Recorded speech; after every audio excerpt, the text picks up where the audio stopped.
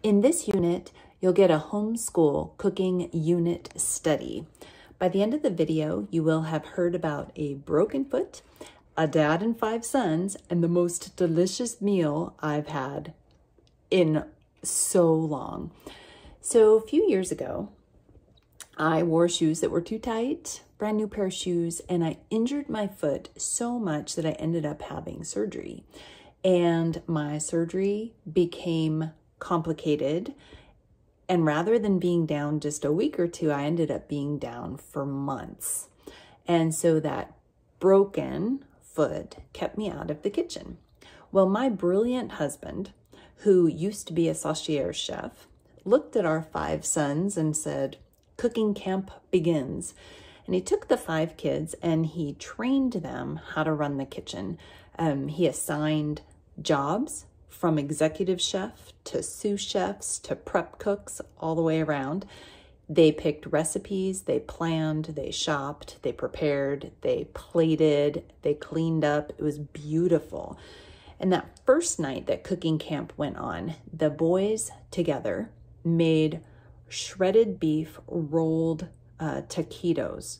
They were so good. It became the the number one most requested meal in my house, especially around birthdays and holidays and special occasions. So I sat there on the sofa watching brilliant hubby and the five boys run my kitchen beautifully for days and I thought, "Oh, other homeschool families need this." So I did what I could do and I couldn't be in the kitchen. So instead, I wrote down cooking camp. And that's what you'll find in the descriptions below is the cooking camp that was birthed out of necessity while I was recovering from surgery and my husband took over uh, the kitchen duties with the boys. So what kinds of things would you be looking for in a homeschool cooking unit? Well, obviously, you're going to be looking for kitchen skills. So in there, there are uh, food safety, handling. All of our boys, uh, I think as young as, I think the youngest was eight when we had them take the food handlers course online. I think it's like $10 or something.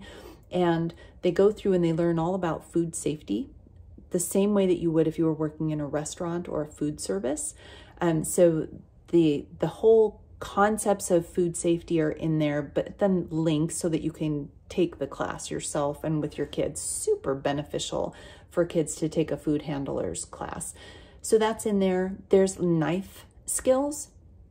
And before I tell you more, take your time when you're teaching your kids cooking and kitchen skills. This is not something that they're going to master in a day. These are the skills that over the course of a decade or two, depending on how long they're at home, they will add to their toolkit, toolkit and they'll be able to take care of themselves and their future families better in the future. So when you're learning something like a knife skill, it's okay if it takes days or weeks of practice before the child masters that skill and then moves on. But the good news is that inside cooking camp, they'll earn certificates as they're learning how to do things like cut an onion or cut up potatoes or whatnot.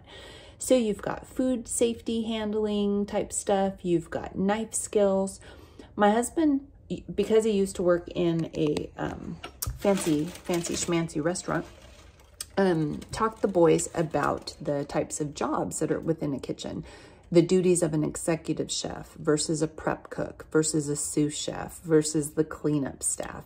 And I thought that was very, very valuable. Um, and the boys loved getting an official title. So inside the cooking unit, you'll also get um, name tags that you can, you can get those little plastic um, name tags that you can either wear with a lanyard or you can even just laminate with shipping tape. And then the kids can have their own um, name tags. Don't neglect getting your kids an apron or a hat while they're working in the kitchen because when they are learn, they'll take it more seriously if they are, if, if they're dressed up. I keep hitting something. Oh, it's sourdough bread. I'm in the kitchen. Okay, so we've got knife skills. We've got the jobs within the kitchen.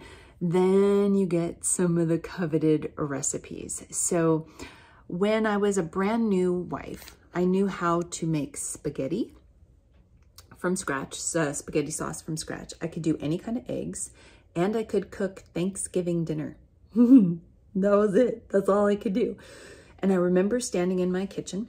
Um, I had just gone, I had, I had found six or seven new recipes and I had went grocery shopping and I bought everything that I needed for the recipes, which meant I blew my food budget as a brand new wife. I blew, like I, I spent so much money because I bought spices and things that I didn't normally have in my kitchen. And day after day, I tried these new recipes and nobody liked them. So I had wasted all this money and I can still remember, I remember my tiny little kitchen. I remember standing there and I, I said, okay, Bekki, you need to approach this differently. You don't need six new recipes a week. You need one new recipe a month for the rest of your life. And so I said I could do that. I could learn how to cook one new recipe a month for the rest of my life. And that's the approach that I took. And over the course, I've been married now over 30 years, and I've collected an incredible wealth of amazing recipes from tried and true, um, just either sites, people that I know, or um, just some of my favorite um, my favorite people that cook. Like you just know that if you get something from, you get a recipe from this person, it's going to be amazing.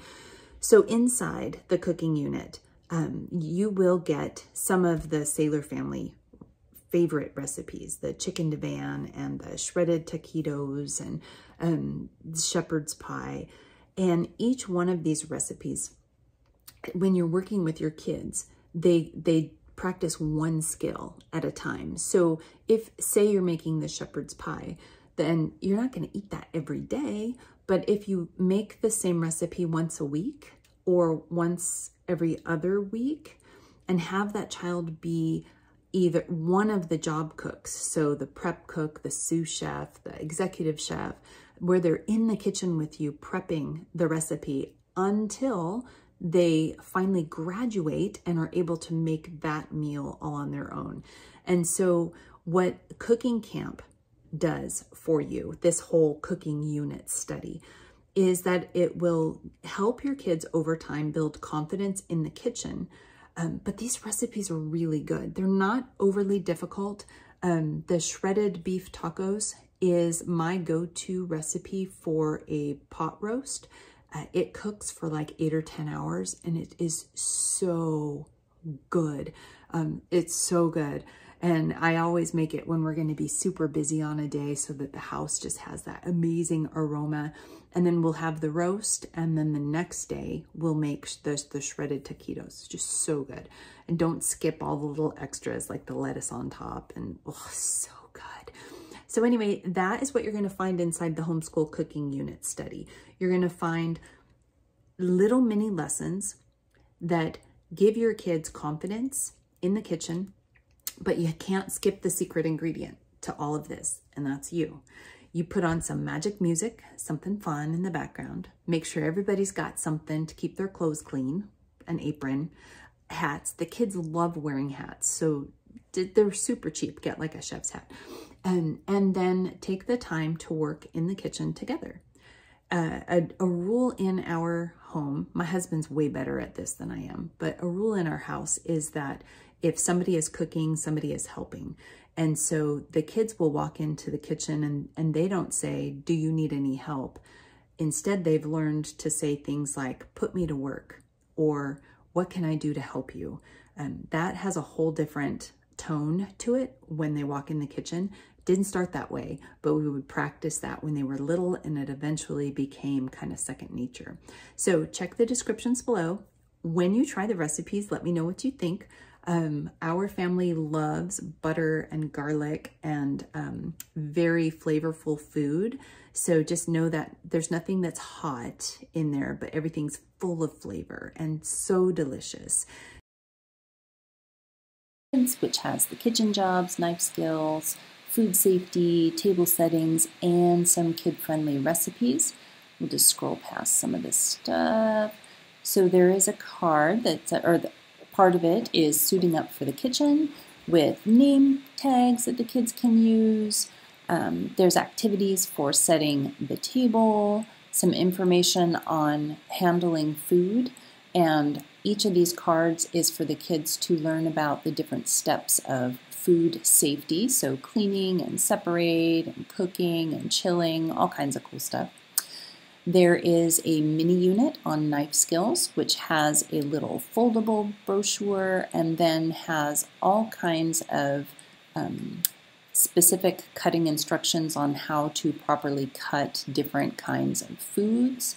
And when they're done with Knife Skill Camp, they get to earn a certificate. There's a handy dandy kitchen conversion um, printable that you can put inside your cupboard.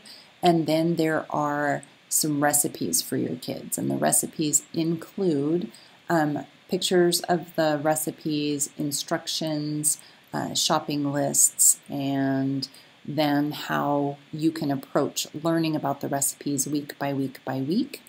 Um, this recipe takes a minimum of eight weeks to master, but it's delicious. So there's all kinds of recipes in here, and each one um, the kids earn a, an award when they master the skill or they master the recipe. Fantastic, so good. Um, let's see, chicken divan. Got chicken divan. We've got sloppy joes with sweet potato sloppy joes. So good. These are the shredded beef taquitos. Oh my gosh, they are so good. So that's it. There's um, a whole bunch of things in here for you. So it's over 60 pages. It's a really, really fun printable homeschool cooking unit. And again, the link is below.